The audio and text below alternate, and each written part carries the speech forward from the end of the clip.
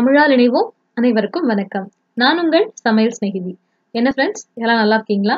இன்னைக்கு நம்ம பார்க்க போறது ரொம்ப சிம்பிளா வீட்டிலே சீக்கிரமா செய்யக்கூடிய ஒரு வெஜ் நூடுல்ஸ் இதை செய்ய உங்களுக்கு மிஞ்சி போனா அதிகபட்சம் இருபது நிமிஷம் ஆகும். அவ்வளவுதான். வாங்க எப்படி செய்யறதுன்னு பார்க்கலாம். வீடியோக்கு போறதுக்கு முன்னாடி நம்ம சேனலுக்கு கீழே இருக்க ரெட் கலர் சப்ஸ்கிரைப் பட்டனை கிளிக் பண்ணி சேனலுக்கு சப்ஸ்கிரைப் பண்ணிக்கோங்க. மறக்காம கூடவே பக்கத்துல இருக்க பெல் பட்டனையும் கிளிக் பண்ணிக்கோங்க. அதனால ஃப்யூச்சரில் நான் அப்லோட் பண்ணுற எல்லா வீடியோஸும் உங்களை தேடி வந்து சேரும். வெஜ் நூடுல்ஸ் செய்கிறதுக்கு என்னெல்லாம் தேவைன்னு பார்த்துடலாம் ஒரு பாக்கெட் பிளெயின் நூடுல்ஸ் எடுத்திருக்கேன். பிளெயின் நூடுல்ஸ்னு கேட்டாலே கடையில் கிடைக்கும். ஒரு பெரிய வெங்காயத்தை ஸ்லைஸ் பண்ணியிருக்கேன். அஞ்சு பல் பூண்டு பொடியாக நறுக்கியிருக்கேன். ரெண்டு பச்சை மிளகா ஒரு பெரிய கேரட்டை இந்த மாதிரி மெல்லிஸாக கட் பண்ணி வச்சுருக்கேன். ஏழு எட்டு பீன்ஸை பொடியாக கட் பண்ணி வச்சுருக்கேன். ஒரு பெரிய தக்காளியை இந்த மாதிரி நீல வாக்கில் கட் பண்ணி வச்சுருக்கேன். கொஞ்சம் கொத்தமல்லி. இதெல்லாம் தான் தேவை. நூடுல்ஸ் செய்கிறதுக்கு ஒரு பாத்திரத்தில் மூணு கப் அளவு தண்ணியை நல்லா கொதிக்க வச்சுட்டு தண்ணி கொதிச்சதுக்கு அப்புறமா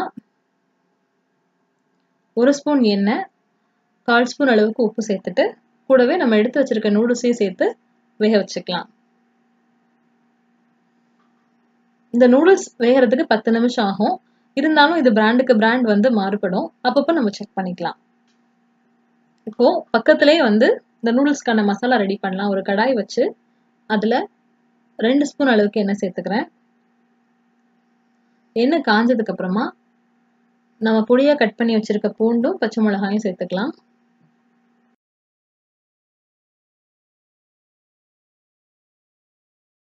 இந்த பச்சை மிளகா பூண்டோட ஃப்ளேவர் எண்ணெயில் இறங்கணும். ஒரு ஒரு நிமிஷம் கழித்து நம்ம கட் பண்ணி வச்சுருக்க வெங்காயத்தையும் சேர்த்துக்கலாம். நல்லா வதக்கி விட்டுக்கலாம்.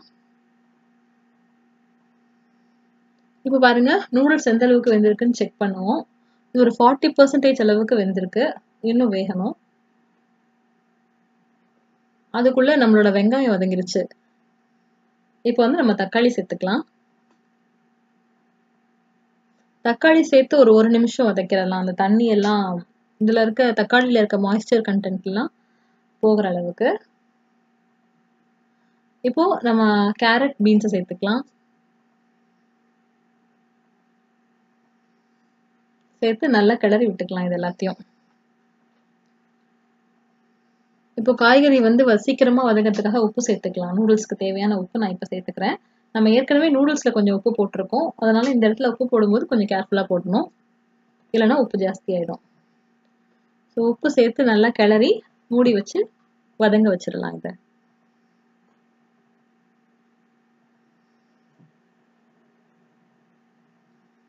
இப்போ நூடுல்ஸ் வெந்துருச்சான்னு செக் பண்ணலாம்.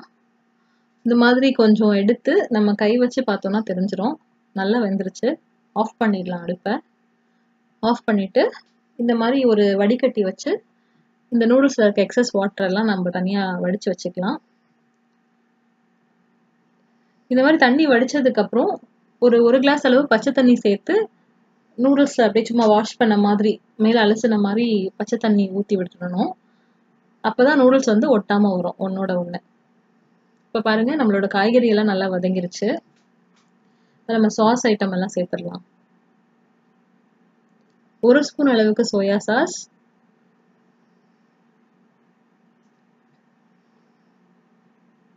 ஒரு ஸ்பூன் அளவுக்கு டொமேட்டோ சாஸ் ஒரு ஸ்பூன் அளவுக்கு ரெட் சில்லி சாஸ் இதில் உங்ககிட்ட எது இல்லைனாலும் கவலை இல்லை. டேஸ்ட்டில் பெருசாக டிஃப்ரென்ஸ் எல்லாம் இருக்காது. இது வந்து ஒரு ஒன்றரை ஸ்பூன் அளவுக்கு பெப்பரை க்ரஷ் பண்ணி போட்டுக்கிறேன். உங்ககிட்ட இந்த பெப்பர் கிரைண்டர் இல்லைன்னா நீங்கள் இந்த மாதிரி பவுடர் பெப்பர் கூட சேர்த்துக்கலாம். எனக்கு காரம் ரொம்ப பிடிக்குன்றதுனால நான் ரெண்டுமே சேர்த்துக்கிறேன். இப்போ இந்த சாஸ் பெப்பர் எல்லாம் சேர்த்துட்டு இந்த மசாலாவில் எல்லாம் மிக்ஸ் ஆகிற மாதிரி கிளறி விட்டுக்கலாம்.